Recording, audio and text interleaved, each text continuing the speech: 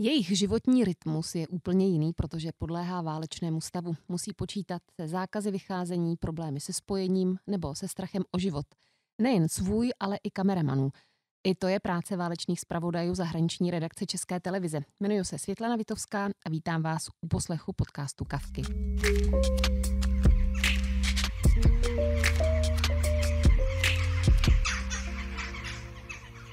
Dnešními hosty jsou moji kolegové, vedoucí redaktor zahraničního zpravodajství Michal Kubal a zahraniční zpravodaj Jakub Sánto. Dobrý odpoledne. Dobrý den. Dobrý den. Jakube, ty jsi začal svoji kariéru reportážemi o ztracených kočkách. A teď je to tři roky, co si dostal cenu Magnesia Litera za, za knihu Za oponou války. To je celkem zajímavý vývoj. Jak se to stalo? tak on je mezi tím poměrně dost, dost času. Kolik? No, uh, já jsem začal v televizi dělat ty kočky a jiný zvířátka na televizi v roce 1999, tak je to docela dlouho. Nejsem moc dobrý na matematiku, tak to radši nebudu počítat, ale je to skoro čtvrt století, tak tam snad ten prostor jako na to byl. Ale mimochodem teda u těch ztracených koček, teď zrovna mám rozpracenou reportáž o ztracení a nalezený kočce na Ukrajině, takže jsem úplně neutek těm zvířátkům. Takový oblouk. Takový oblouk. Michale, tvoje cesta k zahraničnímu zpravodajství byla přímočařejší trochu. Hmm. Jak jsi se dostal do zahraniční redakce? Jak se říká, začínal jsem v televizi od píky. Asi to budeš pamatovat. Tehdy ano, se, tehdy, to mi asi všichni. tehdy, se, tehdy se ještě eh, vlastně točilo na kazety a já jsem začínal, říkal se tomu spravodajská směna. To byly takový ti podržtaškové těch velkých hvězd, mezi které patřila tehdy Světlana Zárubová, Ševčíková na začátku úplně. Počkej, to jsem nebyla ještě. Ale ano, ne, ne, no, ne. ano, ano, ano, ano. A pravidelně jsme nosili a nastavovali archivy, které si objednali právě ty velké hvězdy. Takže takhle to nějak, nějak začalo. A a, to trvalo rok, možná ani ne, pár měsíců to trvalo, pak jsem začal editovat zprávy a, a tam si mě všimli lidi ze zahraniční rubriky a, a nabídli mi, jestli bych nechtěl přijít do zahraničí. No a potom to šlo, šlo ráz na ráz. To byl rok 97-98 a vlastně se schylovalo ke kosovské válce. A to byl takový ten první přelom. Z vás jsou teď zahraniční i váleční zpravodajové, co jste chtěli dělat jako děti, protože to myslím, že asi nebyl úplně váš sen, Jakube, nebo byl? Uh, vůbec, uh, vůbec. Já vlastně ani jsem žurnalistiku nestudoval, proto vlastně to jako byla, byla náhoda. Já jsem měl jako, jako každý kluk takový ty jako 150 různých nápadů od kosmonauta přes policajta fotbalistu, což vzhledem k tomu, jak mi jde fotbal, je dost bizarní prostě představa ale nikdy jsem nějak jako neměl, vlastně potom, když jsem šel studovat na vysokou školu na fakultu sociálních věd, tak jsem nešel na žurnalistiku, šel jsem na mezinárodní studia, což je vlastně takový mix věcí, který jsem měl rád. Byly tam dějiny, byla tam politologie, byl tam nějaký úvody do sociologie, ekonomie, byly tam zahraniční prostě věci, to mě bavilo. Takže já jsem v podstatě pokračoval jenom v tom, že jsem se zbavil chemie, fyziky a biologie, který mi úplně kdo ví, jak nešli na Gimplu, na vysoké škole jsem pokračoval a pak nějak náhodou vlastně se stalo, že jsem začal dělat tu práci nejdřív na nově a pak teda tady díky uh, Michalově uh, uh, Něze a, a, a, tomu, no, to, a tomu, tomu pochopení to přesně, tak dostali. nakonec jsem skončil teda vlastně tady na druhý kopci, na druhé straně řeky. A Michale, ty jsi chtěl být kým, když jsi byl malé dítě? Eh, tak já pominu tu, tu fázi pilotů, popelářů a policistů a těchto těch věcí, ale já jsem chtěl být spisovatel. A vlastně jsem a si to říkal... Seš, ale vlastně, vlastně. No, no, neřekl bych.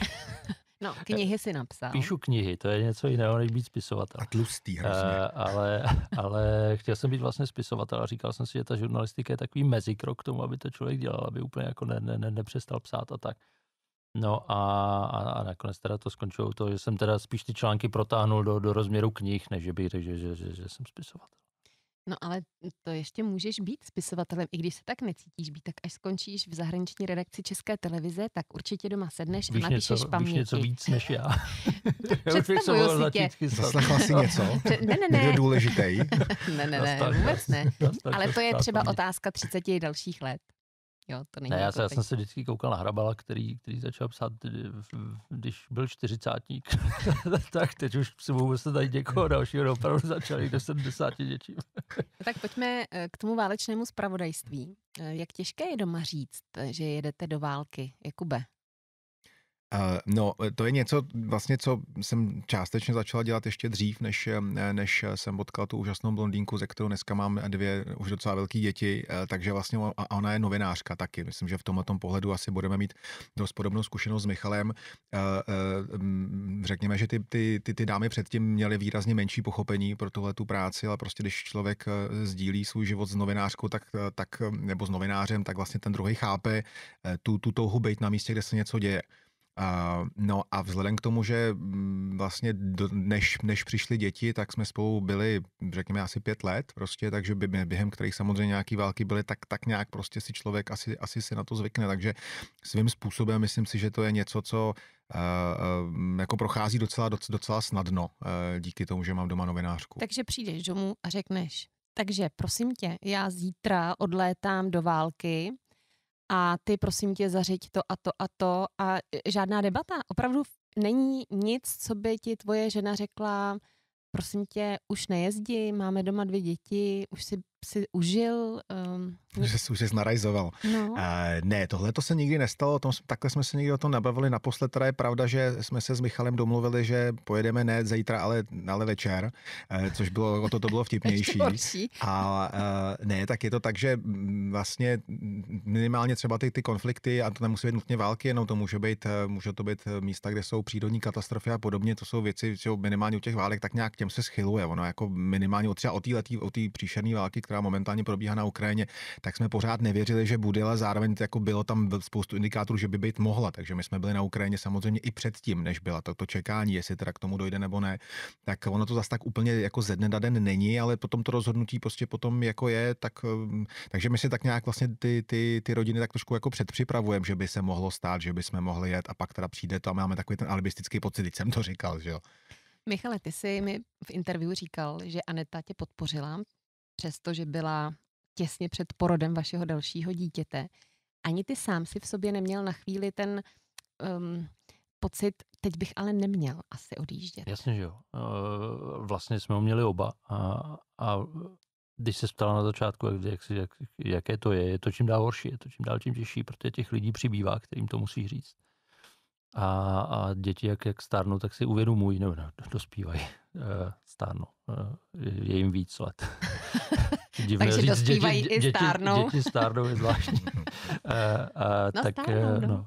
tak, tak je, tak tak vlastně eh, je, je to o to horší, protože tam víc, víc lidí, kterým, kterým to musí vlastně vysvětlit, víc lidí, na které musíš myslet, cítí, že, že na tebe myslí, že každý se s tím vyrovnává nějak jinak. A nejdou pak třeba za tebou do postele, neříkají tati, prosím tě, nejezdí, nebo my se bojíme, že se nevrátíš. Uh, nechávají si to v sobě. My, myslím si, že, že, že tam tyhle pocity byly, ale, ale nechávají si to v sobě. Ne, nestalo se mi to tohle, to, to by mi asi zlomilo, to, no zlomilo přesně, srdce. A kdyby, kdyby, to, kdyby, kdyby to, bylo, to udělali? Uh, ono, ono to bylo tak vlastně, tahle, tahle debata uh, začala, uh, začala tím, že jak už tady Jakub naznačoval, vlastně já jsem ten, který nakonec ty lidi tam nějak vypravuje, takový ten výpravčí tady na těch nádraží, nádraží kavky.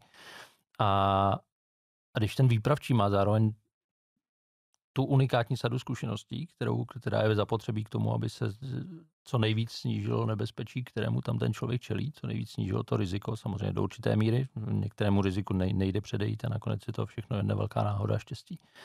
Ale, ale když člověk má, má e, vlastně tu unikátní sadu a, měl by vlastně posílat jenom ostatní lidi, tak je to strašně nefér. A vlastně by mi to přišlo možná srabácké poslat, poslat někoho jiného a ne, ne sám. A, a teď vlastně do toho vstupoval ten, ten klíčový moment, kdy ke třem dětem eh, byla Aneta v devátém měsíci se, se s naším dalším chlapcem.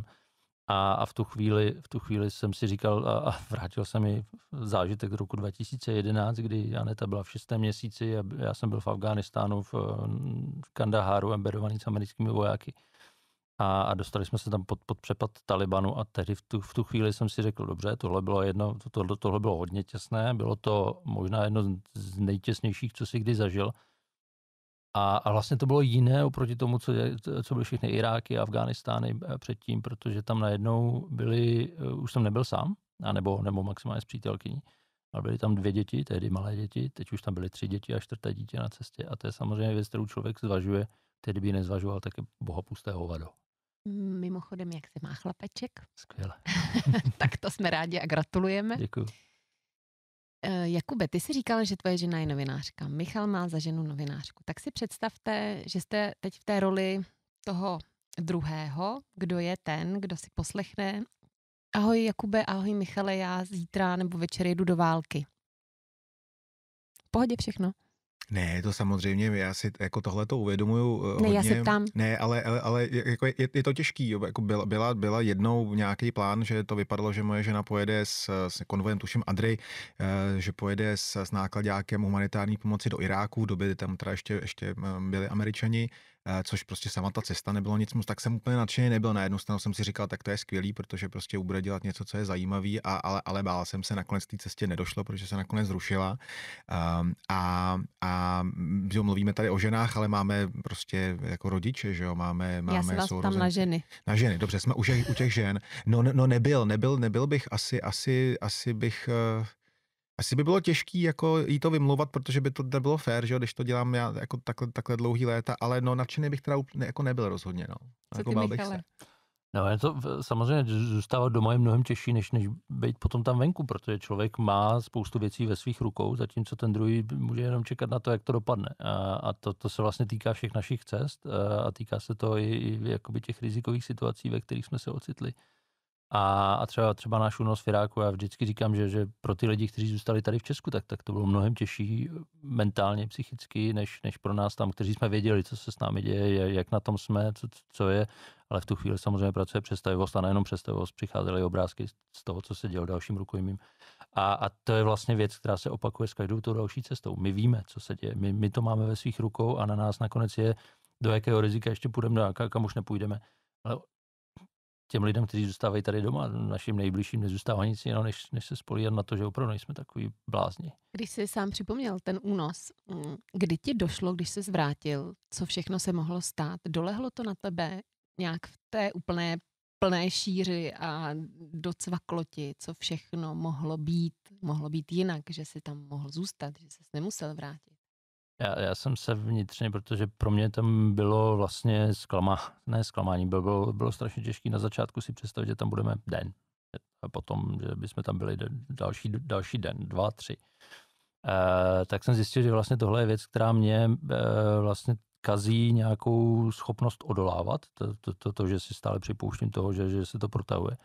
Takže jsem se snažil mentálně naladit do toho, že to prostě nedopadne dobře. A, a každý ten další den byl vlastně dobrá zpráva. Mhm. Takže to bylo takové, tak- takový to, jo dobrý, tak, tak ještě další den nám dali, tak, takže je to dobrý. Není, není to to nejhorší, co by mohlo být.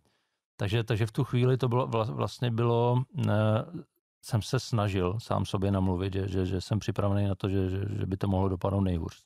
Nevím, těžko říct, člověk neví do, do, do té doby, než, ne, než tam je, tak, tak neví.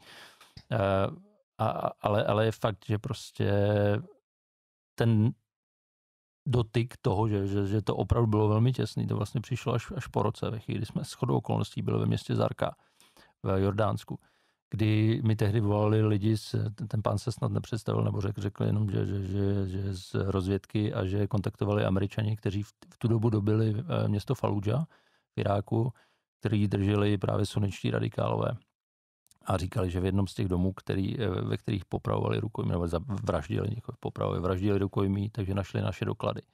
A že viditelně ta skupina, která nás držela, se nás snažila prodat al a, a v tu chvíli jsem si tak říkal, tak teď to mám op- op- opravdu černý na bílým, že to bylo super, super těsný a vlastně jediná, jediný naše štěstí bylo, že to bylo tak strašně blízko, eh, tak strašně brzo, že ten biznis s, tím, s těma rukojmími ještě nebyl tak rozjetý a že al tehdy viditelně prostě byla spokojená s tím, že, že měli v ruce jednoho amerického občana, který potom byl první obětí eh, zavražděnou tím spektakulárním způsobem. A, a, a že prostě nechtěli utrácet peníze za nějaký tři Čechy. Byl tohle pro tebe zatím nejhorší zážitek? Pracovní. Hmm. Já se rozhodnu mezi tímhle a, a tím Afghánistánem. Ten Afghánistán byl koncentrovaný a byl, bylo, to, bylo to vlastně, tam jenom bych řekl, co- se stalo, když jsme šli na pěší patrolu s americkými vojákama, tak na nás zautočil Taliban, začali po nás střílet A ve chvíli jsem jenom tyhle záběry jsem ukazoval uh, britským speciálním jednotkám potom na nějakém školení přežití eh, nebo kurzu přežití, tak říká, no tak tohle bylo těsné. Slyšel si to krek, krek, tak to, to, to byla kulka, která, nebyl kulky, který proletěly těsně, těsně, vedle, eh, těsně vedle kamery. A to byl vlastně jenom začátek. My jsme se potom vlastně, to, to, to byl to, krátká přestřelka, potom jsme se vlastně stahovali na základnu a během toho jeden voják upadnul a, a spadnul na, na, na výbušninu, která mu utrhla obě dvě nohy. A, a vlastně jediná, jediný místo, kde, kde mohl přistát vrtulník, aby medevak, aby, aby dostal toho vojáka do bezpečí, tak bylo to místo, kde nás předtím napadnul Taliban. Takže jsme se vraceli zase zpátky, na, i na ten vrtulník zautočili, všechno to nakonec skončilo takže že to řešili bitevníky. Když jsem poprvé slyšel ten přízračný kulomet eh, a, a americký A10. A, a vlastně tohle všechno skončilo, to, to opravdu bitva jak, jak z akčního filmu. A teď to skončilo a bylo ticho. A já jsem věděl, že před sebou máme 300-400 metrů na základnu a že to je nejdelších 300-400 metrů z mého života, protože jsem, už to nebylo znovu to, to, to, to, to, to, to stejné jako, že, že předtím jsme tušili, že, že o nás mohlo mít zájem Al-Qaida, ale ta, tohle byla ta jistota, že tam opravdu ty výbušniny jsou. A to nebyl takový ten Afganistán, taková ta, ta, ta poušť. Tohle, tohle, bylo, to, to, tohle byl tak nějaký vinohrad, prostě spousta zeleně, člověk nevěděl, kam šlápne, kam šlape, ne, nemohl si dávat pozor. Eh, jestli tam náhodou není čerstvě vykopaná, eh, přikrytá, přikrytá výbušnina a tak. Takže tohle to byla jedna věc a druhá věc, samozřejmě, jako to, tohle byly dvě situace, kdy asi to opravdu, jak říká Zdeněk Šámal, eh, kdy jsem toho ďábla tahal za ocas hodně, hodně, hodně dlouho, hodně zblízka. Ale těžko říct, která z nich jakoby byla intenzivnější. No. Jakube, kde jsi tahal za ocas ďábla ty? Ehm, já se snažím si mm, jako vlastně ty, ty zážitky takhle jako, jako nepřipustit, jo, protože já jsem vlastně docela pověrčivý, ne teda, že bych nosil nějaký pacičky, ale tak nějak jako v té hlavě některé věci, eh, některé věci si říkám, že dokud jako nebudou pojmenovaný, nebudou mít tu nálepku, tak vlastně jako to není pořád jako úplně naplněný, ale uh, jako vzpomenu si určitě na pár, na pár věcí. Já, já většinou mývám já většinou mývám vlastně jako těžkou hlavu potom spíš z toho, ne ani tak jako co bylo nám, co se jako mohlo stát nám, ale spíš to, to, co člověk vnímá kolem sebe, co se děje, co se děje kolem, jo. A jako jeden vlastně jako z, nej, z, nej, z nejpříšernějších zážitků prostě bylo, pochopitelně spojený s dětma, prostě bylo, eh, když eh, vrcholila bitva o Mosul a my jsme byli eh, někde na nějakém místě, kde zrovna teda byla, byla, byla, byla irácká armáda, a tam to nevypadalo tak, jako vypadá válka teďko jako vlastně jako v, na Ukrajině, že, která trošku připomíná druhou světovou válku. Tohle to jsou prostě takový jako zbrklý, zvláštní, divný křeče, prostě kdy někam vyjede nějaká malá jednotka s autama, střílí se, pak se zase rychle někde utíká. Je to takový vlastně strašně chaotický a uprostřed jednoho tohle to prostě jako, jako výbuchu násilí, prostě, kdy my jsme se kryli teda někde, někde schovaný za, za, za rohem a, a, a, a, lítalo to prostě kolem, uh, tak potom, když vlastně to přestalo, tak jsme, jsme vyšli ven, tak prostě šel táta, který dnes uh, 17-letého kluka, který to dostal dozad. Jo, a, a, a to bylo jako, to je jako šílený moment a, a v zápětí to bylo vlastně možná ještě horší, v zápětí prostě přišel, přišel e, jiný člověk, prostě, který nes e, pětiletý tělíčko zabalil do takový termofoly, jako jak, jak takový zlatý, jako vlastně jak velký bonbon, jo. A to jsou, to jsou jako věci, kterými, kterými jako nedávají úplně spát, takže spíš než jako moje blízký takovýhle jako Eh, s tím eh, šmirglem, prostě jako kde, se, kde jsem se někde potkal s nějakým velkým nebezpečí, spíš jsou to tyhle ty jako momenty, co se mi, co se mi vryly. A to jsou, to jsou vlastně věci, a to asi Michal potvrdí, to jsou, to jsou, to jsou, jako, to jsou šrámy eh, na té duši a, a ono se to zajizví, ale ta jizva tam zůstane. To jsou prostě věci, které se člověk nezbaví. A... Proč se tedy vracíte pořád do těch válečných konfliktů, do těch míst, kde tyhle obrázky pravděpodobně uvidíte znovu, když to děláte jizvy? Tak je to nějaký způsob masochismu, nebo co? Nebo ten adrenalin je prostě tak velký, nebo je to ta novinářská touha? Co to je, že vás to žene pořád vlastně se vracet někam, co, jak vidím na vás, najednou jste strašně zvážněli, že asi vám běží v hlavě ty obrázky. Eh, ono to je, Michal to říkal, eh, my jsme prostě těma, těma, těm, tě, jako po těch, teda teď už vlastně jako jedeme třetí dekádu, jdeme třetí novinářský gumy a prostě máme, máme jako nastřádaný nějaký zkušenosti, eh, který mimo jiné vedou k tomu, že zaťukám na hlavu v rámci té pověrčivosti prostě vedou k tomu, že alespoň do určitý míry v rámci té části prostě reality, kterou jsme schopni ovlivnit, tak jsme schopni snižovat to riziko. Máme trošičku možná jako větší, no určitě máme prostě jako instinktivně prostě prostě jako víc dávat, jako jsme schopni dávat bacha na to, co, co jo a co, co už ne. Umíme se v těch věcech pohybovat, protože ono samozřejmě to, ne, to nebezpečí, to je jako jenom vrchol ledovce, ale ta práce prostě v těchto těch, těch oblastech je vlastně jako mimořádně ubíjející. Je to jsou prostě jako hodiny a hodiny neuvěřitelně monotónní nudy, kde prostě člověk musí na každém checkpointu, zvlášť na Blízkém východě, se musí prostě vlastně velice slušně vlastně a často až jako servilně chovat ke každému idiotovi, který prostě na checkpointu má tu zbraň, tím pádem má ten pouvoir vás pustit jako, jako dál nebo ne, jo, jsou to eh, eh, horko, práh nebo zima, prostě málo jídla, málo spánku, to jsou prostě věci, které nějakým způsobem, eh, jako my umíme s nima zacházet, umíme zacházet se sebou.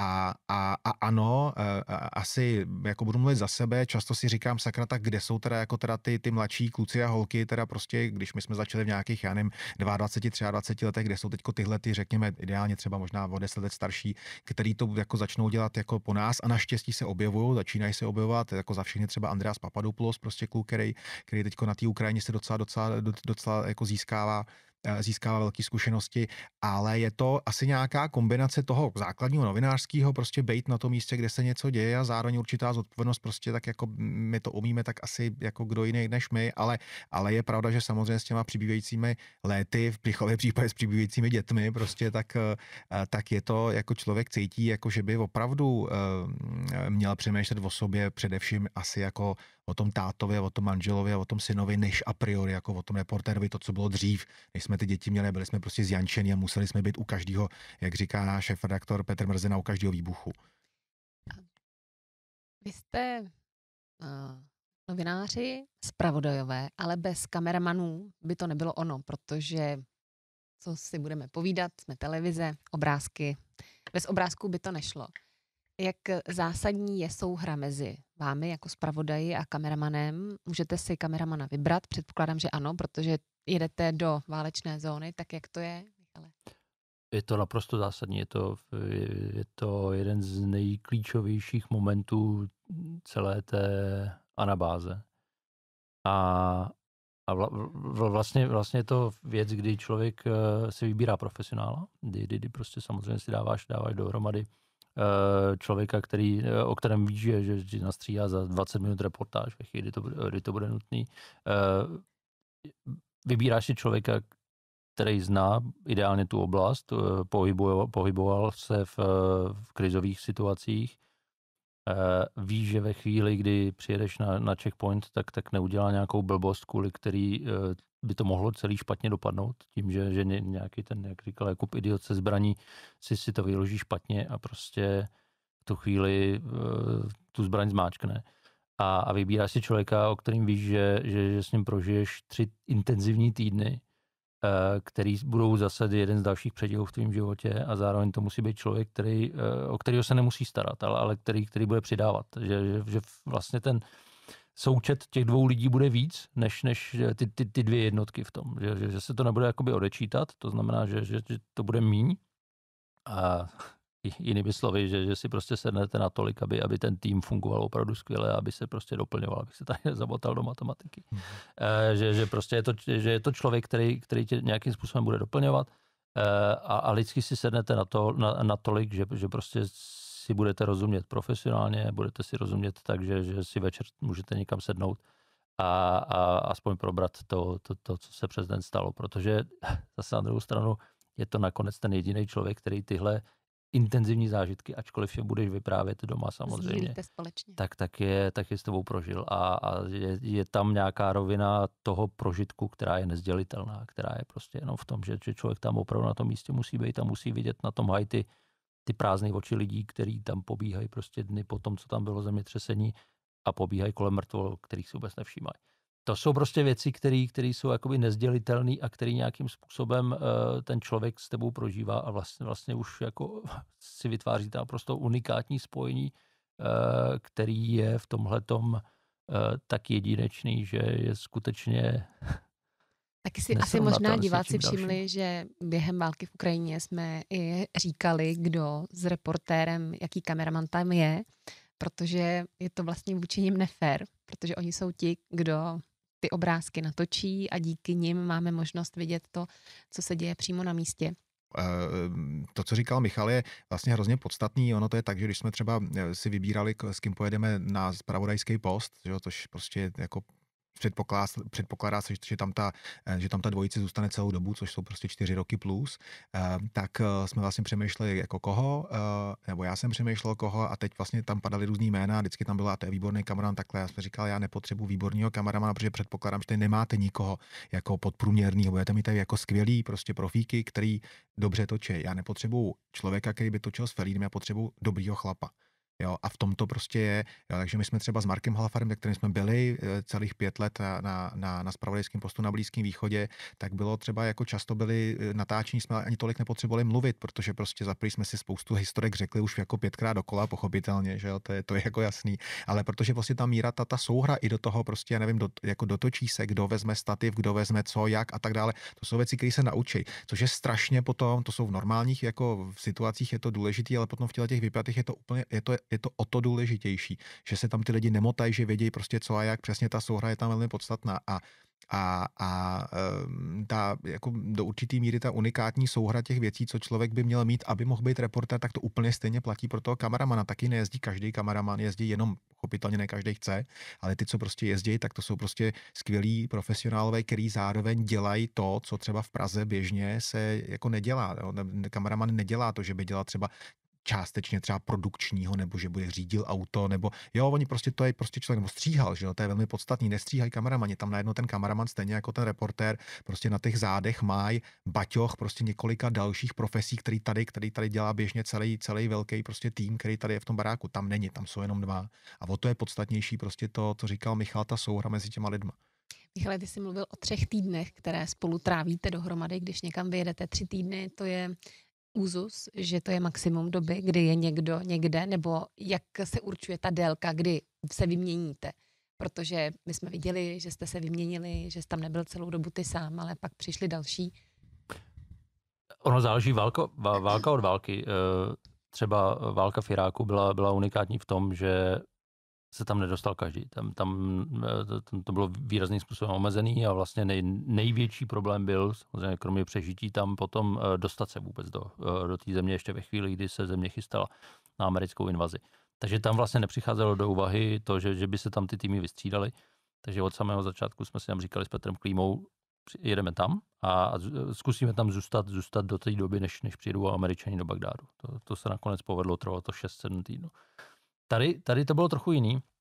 Vlastně ta válka začala a ta, bylo tam několik fází toho konfliktu. Vlastně to začínalo tím, že, že byl totální chaos. Někdo nevěděl, co se děje, nevěděl se, jestli, jestli Rusové už v Kijevě, jestli Zelenský žije, jak dlouho bude trvat, než, než prostě Kijev padne. A teď eh, jsme viděli ty obrovské kolony který, eh, lidí, kteří opouštěli, opouštěli Kijev a odjížděli před tou postupující valící se ruskou armádou. Bombardovalo se po celé Ukrajině.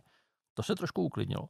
Tohle byla ta fáze, kdy, kdy, kdy jsme si řekli, dobře, stahujeme Andrease protože nechceme, aby, aby jsme ho museli v, o, o jeho propuštění vyjednávat s, s, se zástupci Kremlu. Takže jsme stáhli Andrease a, a teď jsme čekali, co se stane. E, je pravda, že tam velký televize zůstaly, jenomže velká televize, Jakub tady popisoval, co to znamená obstarat, obstarat vysílání ve dvou lidech a velký televize k tomu ještě mají osobní zkušenost eh, CNN. Eh, Kristýna Mampur přijel na, na, na stejné místo, kde, kde jsme byli my, jasní, tam byli dva kameramani, překladatelka, produkční, a ještě tam byl člověk, který měl na starosti bezpečnost, který neustále chodil kolem mě a dával pozor, kam šlape. Takže my jsme tam byli ve dvou s Vojtou Erikem. E, a, a já jsem je upozornil, aby si dávali pozor, že tam jsou kazetový, kazetový bomby. Takže to, to jsem si nemohl nechat ujít. E, nicméně to je, to je ta věc, ti tam zůstali, ale říkám, s, s, s celým tímhle, s celou touhletou podporou, kterou samozřejmě Česká televize, byť v českém prostředí je velký médium, tak nemá. Nastal další, eh, nastala další fáze, kdy se to trošku utřáslo, tak jsme se rozhodli, dobře, pojďme posunout Václava Černohorského do Kijeva. Posunuli jsme Václava do Kijeva, domluva s Václavem byla Václav, zůstaneme tam do té doby, než, než to Rusové obklíčí a dokud, dokud bude poslední volná trasa, eh, kudy by se dalo evakuovat, tak, tak v tu chvíli prostě byste vodili. Jenomže pak se ruská, uh, ruský postup zastavil a jsme si říkali, tak co teď? Teď jsme v té podobné fázi, kdy budeme čekat na, na Godota, jak se nakonec ukázalo, na, na, na ruskýho vojáka, který by přišel na Majdan a, a dobýval centrum Kijeva. Takže jsme se potom domluvili s Václavem, co vlastně budeme dělat a domluvili jsme se na tom, že po nějakých dvou, třech týdnech, který nakonec strávili, protože oni nebyli jenom v Kijevě, který strávili v Kijevě, takže tam vystřídáme. A v tu chvíli vlastně už jsme dali na ten, na ten přirozený rytmus, který, který si myslím, že má, že má několik výhod. Jedna z nich je, že, že vždycky přijdou čerstvý oči, člověk, který prostě, protože když už jsi tři týdny v Kijevě, a, a jedeš po dálnici a opravdu prostě čtyřproudý silnice uvidíš checkpoint a musí zastavit a ukázat e, průkazku, tak je to vlastně takový standard už potom. Jenomže když přijede ten člověk, tak pro něj to je něco nového. Jako představ, že tady jdeš po okruhu a zastaví tě na checkpointu skupina ozbrojených mužů, kteří po tobě chtějí, aby si, aby si prokázal, že nejsi ruský záškodník. To je, to je absurdní. A, a tohle, tohle je vlastně ta věc, kdy, kdy ty nový oči tomu strašně pomůžou a znovu zopakují to základní. Tady se bojuje, tohle je válka. Zatímco ty už tu chvíli to, že je válka, bereš vlastně jako Pomalu standard. si na to zvykáš. Eh, zvykáš si, přesně tak, jako naučíš se v tom žít. Takže to byl, to, to byl další důvod a, a samozřejmě člověk ve chvíli si zvyká, tak uh, už má pocit uh, mnohokrát takový ten podvědomý, dobře, tak tohle už jsem dal, tohle už jsem milionkrát viděl a, a myslím, že taková ta ostražitost trošku časem opadá, takže je dobrý se tam vystřídat a, a, a otočit tam několik lidí. Nemluví o tom, že každý z nich má samozřejmě trošku jiný reporterský přístup a to je taky osvěžující. Jak to uděláte, abyste nestratili ten nadhled, objektivitu, eh, abyste nebyli moc insidři, když už tam jste? Jak se to dělá, aby vás to nepohltilo, abyste opravdu se na to dokázali dívat eh, těma očima, eh, jednak čerstvýma a jednak těma objektivníma, Jakube? Já si myslím, že to je vlastně daleko jednodušší, než, než dělat zprávy z domova, jo? protože eh, když děláš zprávy, nevím, z lokální nebo z, nebo z velké politiky nebo ekonomiky a tak dále, tak to jsou prostě věci, kde jsou proti sobě třeba jako dva zcela legitimní názory, eh, které já nevím, ale budeme bojovat proti inflaci, zvyšování nebo naopak snižování úrokové sazby a tak dále, že o tom jsou prostě odborní debaty a tak dále. A tam vlastně ten, ten konflikt, který je a je veliký a ovlivňuje život nás všech daleko víc samozřejmě, než, než ty věci naštěstí, teda co se dějou, co se dějou na Ukrajině třeba nebo v Iráku nebo v Sýrii, eh, vlastně tam eh, je to jako složitější, zatímco v, jako v, v místech, kde probíhá ozbrojený konflikt nebo nějaký opravdu jako politický násilí, prostě tak vlastně ty, ty, ten konflikt, ten sport, co tam je, je daleko vyhrocenější. A je vlastně daleko snaží se v tom, se v tom vyznat, protože když děláš reportáž, která má, dejme tomu, dvě, dvě minuty třicet prostě, tak samozřejmě nebudeš, jako nevysvětlíš kompletně celý pozadí eh, eh, bojů mezi Kurdama a Sunitama a Šítama v Iráku. To nejde a nikdo to o tebe nemůže chtít, na to jsou tlusté knihy a ty to nevysvětlí celý dokonce. Eh, ty popisuješ tu konkrétní situaci v rámci toho kontextu, který znáš, od toho máš být ten insider, který to dlouhodobě prostě, který to dlouhodobě sleduje, ale jestli někdo i třeba ve jménu boje proti útlaku šítský, eh, eh, šítský většiny, teďko nově najednou prostě po svržení Sadáma Husajna, která začíná teda se mstít, nebo její radikální prostě části začínají mstít se na sunitech, který jsou menšinoví, ale do té doby prostě vládli té zemi a poměrně s železnou rukou. Jestli v rámci tohohle toho někdo vyhodí do vzduchu školní autobus plný sunnických dětí, tak přece není úplně, tam není jako moc objektivy, o, o objektivitě vlastně jako není moc co, to, to není moc těžký, jo. E, oblíbená věc, prostě, který samozřejmě čelím jako dekády, prostě izraelsko-palestinský spor, prostě ano, ale já, ne, já v té jedné reportáži neřeším, jestli uh, mají právo židi na svůj stát, nebo jestli uh, palestinský arabové mají na svůj stát. Ne, já řeším tu konkrétní situaci, která se tam, která se tam stala. A jestli v rámci boje těch nebo těch někdo někoho zabije, no tak přece to je přece strašně jednoduchý, tak je to prostě vrah. A jak, jestli, jestli, jestli tu vraždu opentlí nějakýma jako velkýma idejema, to není vlastně úplně moc podstatný, protože prostě pořád zabil někoho a dokonce zabil někoho, koho ani neznal. Není to vražda, nevím, jako běžná, prostě je to politická vražda, která je ještě podle mě daleko horší, protože zabil, zabil někoho prostě nebo, nebo ublížil někomu, který náhodou se narodil jinak než on, což je samozřejmě úděsný.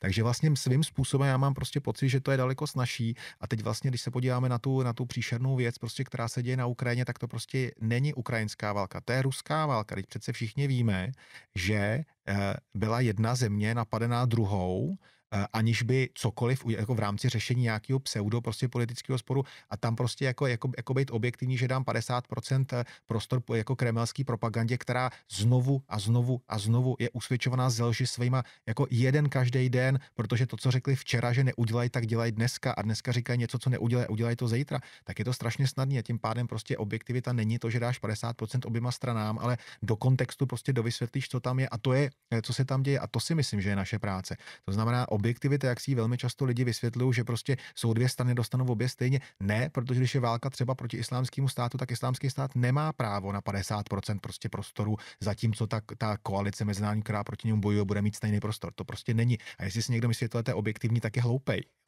Ale ty jsi, ty jsi byl u spousty emotivních situací. Jak to uděláš ty, aby tě ty emoce nepřemohly?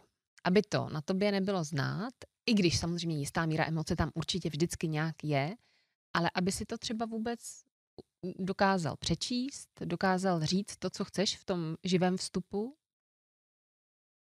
Eh, já navážu na to, eh, co říkal Jakub a vlastně to bude odpověď na, na, na tuhle otázku, protože ono, ono je to samozřejmě uh, trošku jiný, když člověk píše, řekněme, souhrný příspěvek o tom, co se odehrálo na, na Ukrajině za den. To, to, to, je, to, je, to je něco jiného.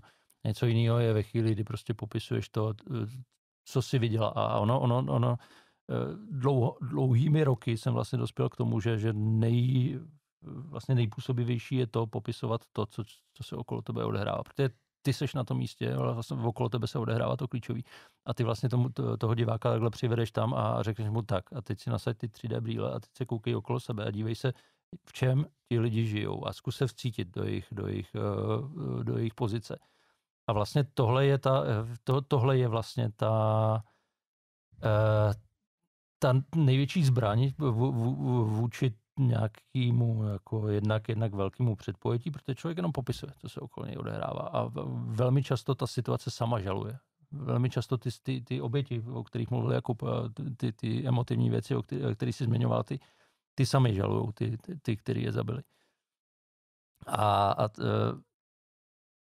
vlastně největší intelektuální výzva je potom najít nějakou, nějaký kompromis mezi eh, příliš velkým patosem a naopak jako zabitím toho, toho co vykládáš. A v tomhle tom znovu čím méně slov a, a čím víc, eh, čím víc jakoby obrazů a ty, ty, ty, ty reální situace a vlastně surovosti a syrovosti, eh, tak, tak eh, znovu dlouhýma rokama jsem došel k tomu, že čím víc slov, čím víc surovosti, čím víc původního materiálu, tak tím je to vlastně silnější a vlastně to vypovídá samo za sebe. Stává se vám někdy, že se po tom, co vidíte, co slyšíte, co točíte, musíte jít vybrečet? No, mně se stalo teď mnohokrát zmiňovaný pohřeb dvouletého chlapce. Eh, to, je, to, to byla situace, kterou myslím žádný rodič by, by nedal bez toho, že by mu neukápla slza. A, a musím říct, že, že tohle je věc, která člověkem opravdu otřese, když vidíš tu situaci. Vidíš, vidíš eh, loučení se rodičů se svým dítětem. To je, to je asi nejhorší situace, jakou rodiče může potkat. A, a tohle, je, tohle je věc, kterou samozřejmě nemůžeš odfiltrovat od toho, od svých vlastních osobních zkušeností jako potom mluvil opakovaně, eh, řekněme, ta projektovatelnost eh, vlastního prožitku do toho ukrajinského konfliktu je, myslím, mnohem vyšší, než byla u jaký, jakýkoliv války, kterou jsme předtím po, eh, pokrývali. V tomhle tím, že vypadáme stejně, mluvíme stejně, žijeme v, v, v, prakticky ve stejných zemích, to všechno samozřejmě jako jenom nahrává tomu, že, že každý, a reporter není výjimka, si prostě vciťuje do, do, do, do situace těch lidí, který, který vidí na, na, na té obrazovce. Jak, jak to máš ty? Um, jo, um, ne, ne, vybračet snad ne, protože na to vlastně moc prostor není, ale určitě jako slzy ve očích vlastně mám, čím jsem starší, tím víc, uh, až jako občas si, si říkám, jestli nějak jako neměknu na starý kolena nebo takhle, asi myslím, že jo. To je asi přirozený vývoj. E- emocionálně. A e, je to tohleto, je to to, co říká, je to to, co říká Michal. E, e, já prostě, moje představa světa je taková, že teda tady je nějaký stvořitel a doufám, že nějak trošku jsme na stopě těma starýma moudrýma knihama, jak si to jako představuje, že by to tady mělo prostě fungovat a zároveň si prostě uvědomím, jak strašně málo stačilo, aby v té loterii toho života a rození bych já byl na straně nebo na místě v kůži toho táty, který se na Lvovském nádraží loučí se svojí prostě holčičkou, dělají srdíčko na, na, na, na, na sklo um, ještě městského autobusu, který jí a, a, a jeho ženu a je, její maminku odveze do Polska, aby on se mohl vrátit, je do bezpečí, kdo ví kam a on se mohl vrátit na zpátek do Krivýho rohu prostě a tam teda se připojit k, k, k, k teritoriální obraně. Jo. To jsou prostě věci, jak opravdu je to fakt milimetr právě pro to, co říkal Michal, prostě ty lidi jsou stejní. Jo. Svým způsobem eh, já a priori teda pokrývám dlouhý léta eh, ten Blízký východ, kde já už jako si cítím být eh, těm lidem jako výrazně, výrazně blízko, ale přece jenom člověk z Jemenu prostě žije opravdu hodně jinak, než žiju já, zatímco ty Ukrajinci žijou stejně jako my. Jo. V tom, o to, o to je to těžší. A občas člověk vlastně si eh, přesně ta jako ta emocionalita, zároveň teda ten mm, profesionální výkon toho reportéra, prostě který tam nabírá materiál. Já si pamatuju na jeden moment, kdy vlastně jako mě to trošku tak jako malinko kouslo do zadku vlastně ten, neřekl bych cynismus, ale v tu chvíli jako ta určitá jako necitlivost, nebo jsem, to jsem si nepřipouštěl, byli jsme, byli jsme v Sinjaru, což je prostě to město jezídů na, na, na, na hranici mezi Irákem a Sýrií, kde prostě opravdu vyvraždili, eh, vyvraždili, já nevím, čtvrtinu města prostě islamisti z islámského státu, o tamtuť odvlekli prostě ty, ty, ty holky a ty, eh, ty, ty, ty, ty ženy, který z nich do, do dneška prostě tisíce se prostě nevrátili. My jsme tam prostě byli na jednom místě, kde byl povrchový důl a tam byly prostě zbytky, zbytky lidí, který Eh, od malých kluků po starý prostě pány, který tam ty islamisti prostě přivezli a protože jsou jezídi, takže v jejich očích teda jsou to ty nejhorší nevěřící a uctívají satana, což samozřejmě nesmysl, tak je tam prostě povraždili a ještě teda, aby jako jo ukázali prostě, jak, jak, jak vlastně jíma pohrdají, tak tam nechali to roztáhat ty těla prostě, takže tam opravdu byly jenom kosti a my jsme tam prostě natáčeli a měli jsme sebou našeho kamaráda Rašída Kurda, který vlastně byl jako náš fixer, a v jeden moment, kdy my jsme tam natáčeli, že a teď vlastně ke každý té lepce nebo ke každý té ruce prostě bylo, bylo jméno, protože se vědělo, tam my jsme tam byli s lidmi, kteří se vlastně vraceli, jak nám říkali, to, to byl starosta, to takové věci, tak najednou prostě v jako v jeden moment se tam, se tam eh, Rašíci tam vlastně zroutil, nebo tak jako si sesypal prostě a brečel. A mě to v tu chvíli najednou vlastně takový, ono to bylo pořád docela nebezpečný, protože tam jako ten, kde byl islámský stát, byl pořád prostě kousek, že pořád člověk má stažený zadek, tak furt jako kouká, kde a nabírá ten materiál, jako bylo to prostě strašně silný, ale v tu chvíli prostě je to ten, ten, ten news gathering, prostě teprve není to, to, není to to zpracování. A teď najednou já jsem si říkal, sakra, co tady děláš ty jako pako, ty tady prostě chodíš, jako nabíráš ten materiál, tak aby si potom jako měl tu reportáž, ale prostě jak to, že nebrečíš jako ten Rašít. Jo. No, protože my prostě tam nejsme proto, aby jsme brečeli, my jsme tam, my tam nejsme turisti. Jo. Ono svým způsobem ten úkol, se kterým my jdeme někam, uh, ať už teda tyhle ty emocionální vypětí nebo to nebezpečí, tak prostě my, my jsme tam kvůli nějaký misi, jako jde hasič, prostě jako má záchranář u bouračky, prostě tam na to není ten, ten moment. A mezi těma prostě mm, jako zkušenostma, který máme, prostě je to, že jsme schopní, že jsme řekněme, neřekl bych otrlí, ale snad odolní jsme a že prostě víme v tu chvíli, hele, naber jako všechno a teprve potom, když se potom dělá ta reportáž, tak tak se potom rozhoduješ, jestli tam prostě dáš uh, amputovanou ruku pětiletý holčičky, která prostě jako někde jako byla u výbuchu v Iráku nebo ne, jo. A to je, to je nějaký, jako nějaký mentální cvičení, který si myslím, že nám pomáhá, ale samozřejmě jako to neznamená, že prostě ty jako jizvy potom se na té duši nevytvoří stejně. Tak to byli Jakub Sánto a Michal Kubal. Děkuji za to, že jste byli hosty podcastu Kavky. Díky za pozvání. Díky moc. Podcast Kavky můžete poslouchat na webu České televize, na Spotify, Apple Podcasts nebo YouTube. Těším se na vás u dalšího dílu naslyšenou.